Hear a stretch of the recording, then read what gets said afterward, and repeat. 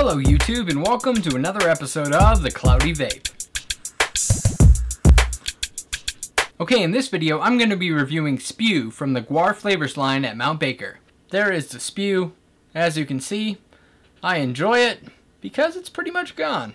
So I thought, before I finish it, I might as well review it. This is Spew, this is 6 nicotine, and it is a 50-50 mix. Wait, what are you vaping on? I got the Tugboat Clone by Tobacco, and I got the Buffalo Clone. Time to vape on it and talk about it.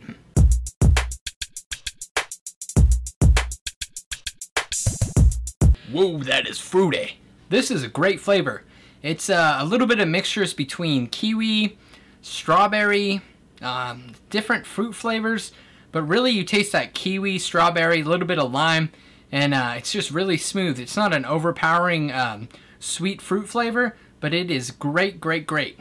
Again, as I said in my other videos, all the GWAR fluid flavors I just love. GWAR fluid flavors. GWAR, GWAR fluid flavors.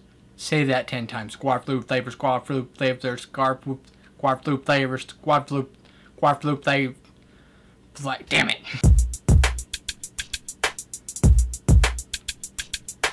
Sorry, I got sidetracked. So yeah, inhale, you get a nice strawberry, um, kind of soury uh, kiwi. It's not extreme sour. And on the exhale, you get a nice kiwi lime with a little bit of strawberry on the exhale. Uh, it's just a nice smooth flavor. Uh, I love the mixture. It's a 50-50 blend and it just wicks on pretty much any type of wick you use. I've used it in my uh, Aspire Nautilus, both with the uh, the old style um, coil and the new style, the bottom vertical coil, and it's just a great, great vape.